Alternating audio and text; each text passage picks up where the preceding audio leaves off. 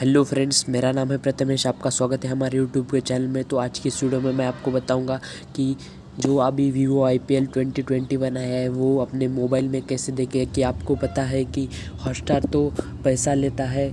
अगर आपका एयरटेल का कार्ड हो तो चार सौ एक रुपये में अट्ठाईस दिनों के लिए आई पी एल देख सकते हो। उसमें सौ जी बी डेटा आता है, पर कुछ कुछ लोगों को वो नहीं ये होता होगा। आप ज़्यादा पैसे लगते हैं हॉटस्टार के भी ज़्यादा पैसे लगते हैं रिचार्ज भी बहुत लगता है। तो इसके लिए आसान तरीका है आईपीएल का मैच देखने का।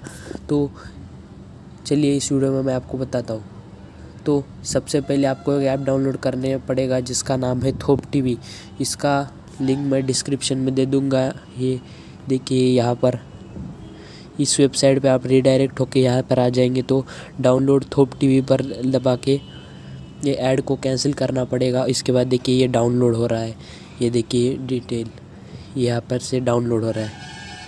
ये मैं यहाँ से डिलीट कर देता हूँ। मेरे पास डाउनलोड है। देखिए मैंने इधर देखिए मैंने पहले से भी ये डाउनलोड करके रखा है। तो इसके बाद क्या करना होगा कि थोप टी वी ऐप पे जाना पड़ेगा।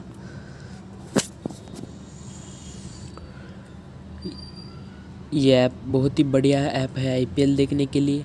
तो इस पे जाने के बाद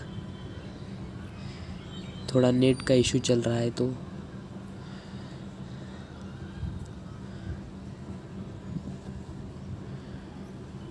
ये देखिए, ये IPL Hindi global IPL English global, ये सब जो चैनल है, इस पर दबाने के बाद मैच ज़रूर चालू होगा।